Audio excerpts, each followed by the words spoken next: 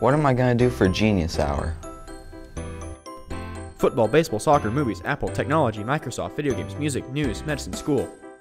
Genius Hour is a project that the English uh, Seaman Freshman Center is doing that was started by the company of Google, but is now evolved into something that schools do, which is where kids get to choose whatever they research, and in choosing whatever they research, they learn a lot of research-based skills, and then they have an application where they affect the real world. Um, I think Genius Hour is pretty cool because I picked the topic baseball, which is my favorite sport. I wanted to learn more about it. Facebook, Instagram, Twitter, Snapchat, books, space exploration, video production, YouTube, memes. I would recommend Genius Hour because it's a fun it's fun to learn about your one of your favorite topics.